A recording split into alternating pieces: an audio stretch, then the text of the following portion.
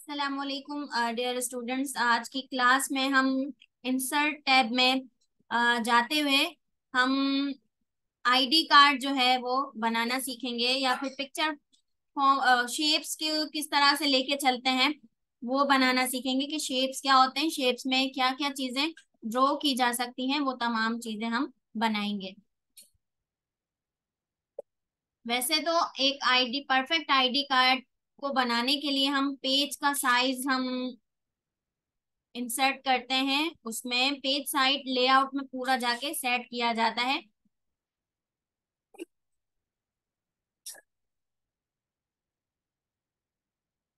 अब मैं एक परफेक्ट आईडी कार्ड बनाने के लिए आपको आ, मैं कुछ साइज़ बताऊँगी जो कि आप देखकर नोट कर सकते हैं। और अगर आपके पास इंटरनेट अवेलेबल है तो उससे भी आप दे सक, देख सकते हैं।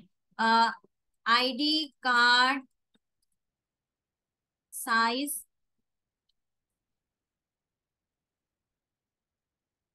M S Word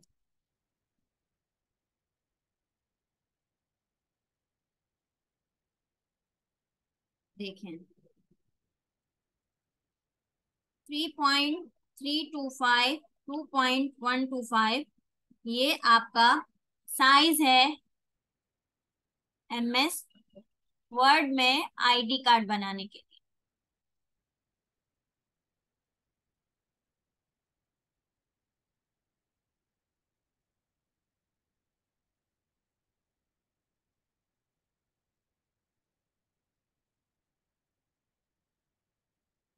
अब इस साइज़ को हम, इस साइज़ का हम पेज इंसर्ट करेंगे। लेआउट में जाके पेज सेट करेंगे। सबसे पहले मार्जिन में जाएँगे और मार्जिन में हमने नैरो मार्जिन कर देनी है। आईडी कार्ड आपके पास दो टाइप के हो सकते हैं। एक तो पोर्ट्रेट हो सकता है और दूसरा लैंडस्केप हो सकता है।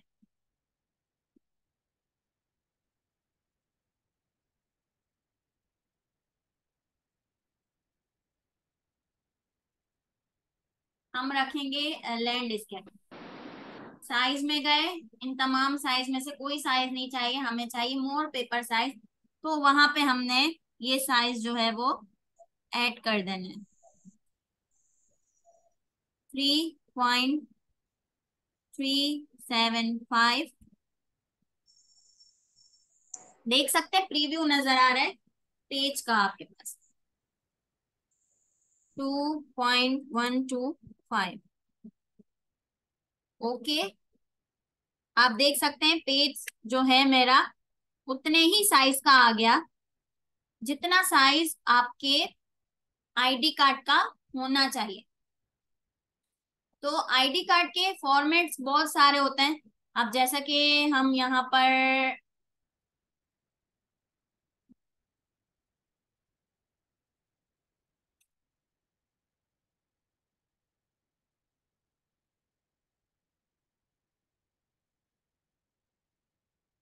देखें, आपके पास बहुत सारे डिजाइन्स मौजूद हैं। इनमें से आप कुछ भी लेकर बनाएँ, लेकिन फ़िलहाल इन डिजाइन्स में जाने के लिए शेप्स टूल को समझना बहुत ही ज़रूरी है। तो मैं सिंपल ही फ़िलहाल आपको बताऊँगी आईडी कार्ड, जिसके ज़रिए आपको बेसिक नॉलेज आ जाए। जैसे कि ये आपके पास बहुत ही सिंपल सा है बना हुआ। तो उसके लिए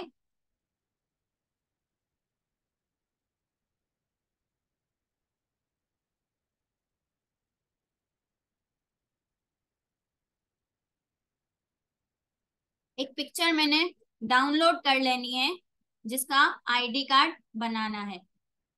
Girl image for ID card. अब देखें, कितनी ही पिक्चर्स आपके पास आ जाएँगी। उनमें से कोई एक आपने जो अच्छी लगे डाउनलोड कर लें या आपकी अपनी आईडी कार्ड के लिए बना रहे हैं तो आप अपना भी ऐड कर सकते हैं।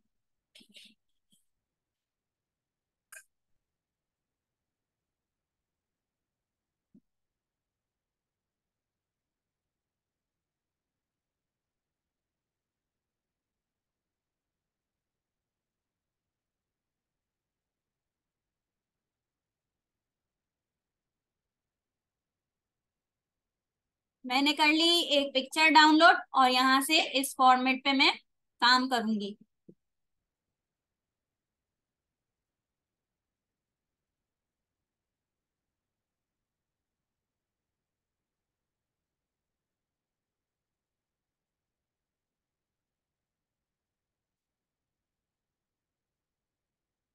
तो होम में गए। सॉरी डिजाइन्स में आपने जो आईडी कार्ड का पेज कलर रखना है, आप वो पेज कलर सेट कर सकते हैं।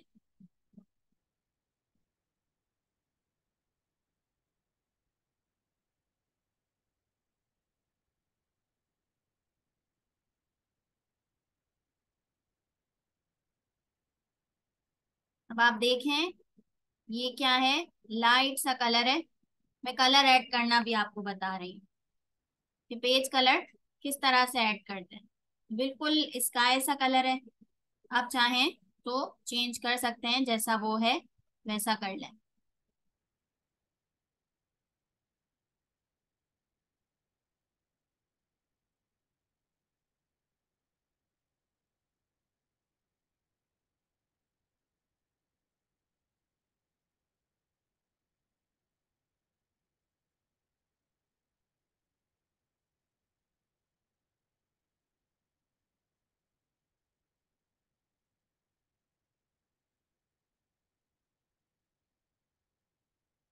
तरह से आप डिज़ाइनिंग भी कर सकते हैं। सिंपल ही बताऊँगी। अगर ये नहीं करना चाह रहे तो सिर्फ़ इसको रखें और आप गए इंसर्ट टैब में। यहाँ से ली शेप और यहाँ से ये पिक्चर्स आपने ऐड करनी है यहाँ पर आईडी कार्ड के लिए।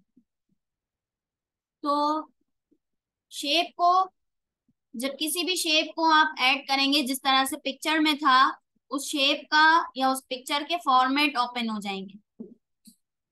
तो आप फिल कर सकते हो। कलर कोई भी कलर आप, मजीद कोई कलर चाह रहे हैं, आप पिक्चर चाह रहे हैं तो आप पिक्चर भी ऐड कर सकते हैं।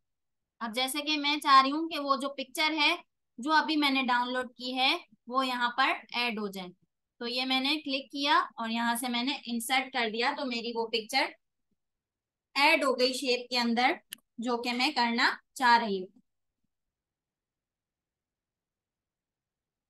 अब देखें। अब क्या है इन्होंने?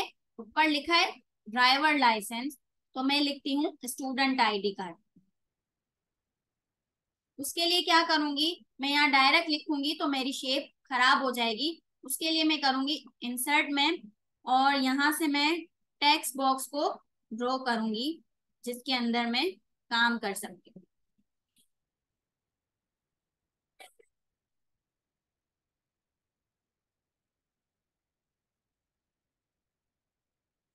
शेप फिल में जाकर नो फिल कर देते हैं, और आउटलाइन को नो आउटलाइन कर देते हैं। और अपने जो काम है, इसको बिल्कुल सेंटर में कर देते हैं।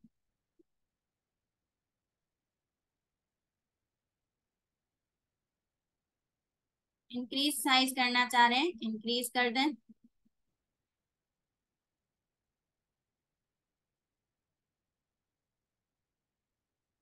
और जो इन्होंने लाइन लगाई है, वो भी हम ऐड कर सकते हैं इंसर्ट में जाकर शेप्स में जाकर। और ये शिफ्ट प्रेस करके आप लाइन ड्रॉ करेंगे तो आपकी लाइन जो है वो बिल्कुल सीधी आएगी।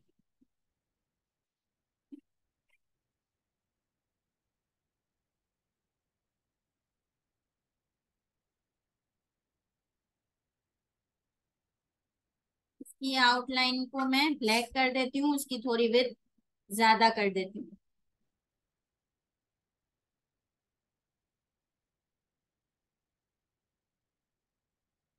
इसको थोड़ा सा ऊपर कर देते हैं। देख सकते हैं। जैसे ही लाइन ड्रॉ की। फ़िलहाल मैं सिंपल बताऊँगी। फिर से यहाँ आपने ऐड करना है टेक्स्ट बॉक्स। उसके अंदर आपने बाकी सारी डिटेल्स भी लगानी है। जैसा कि नेम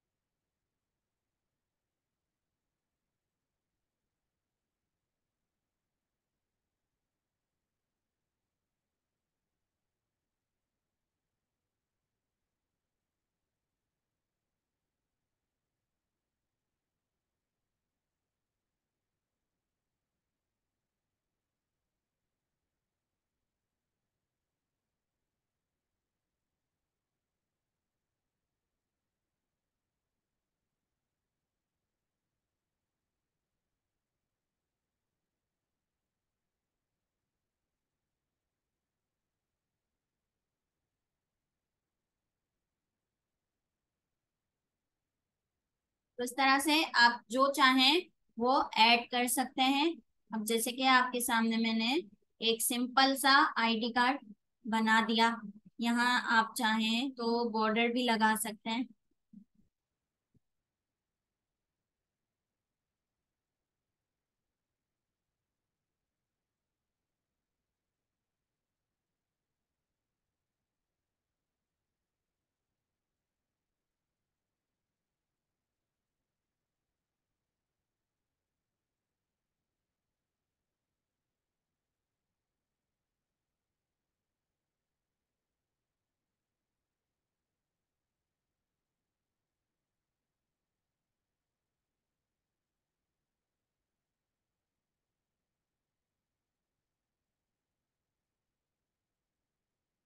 देखिए तो ये बॉर्डर इस पर सही नहीं आ रहा तो आप चाहें तो बॉर्डर भी स्टार्ट में लगा सकते हैं।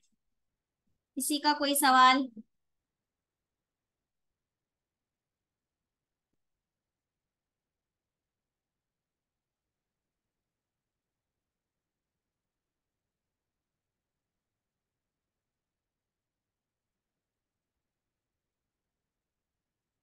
ठीक है।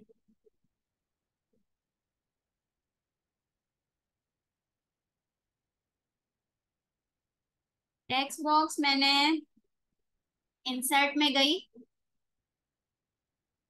शेप्स में जाएँगे और वहाँ पे आपको स्टार्ट में ही टेक्स्ट बॉक्स मिल जाएगा। आप कोई शेप ऐड कर सकते हैं। शेप अब आपको ये चीज़ क्लियर हो गई होगी कि किसी शेप के अंदर हम पिक्चर को किस तरह से इंसर्ट करते हैं। आप ये सोच रहे थे कि पहले पिक्चर को किस तरह शेप में कन्वर्ट करेंगे? तो पिक्चर शेप में कन्वर्ट इस तरह होगी कि पहले आपने शेप लेनी है उसके बाद आपने उसके अंदर फिल करनी है पिक्चर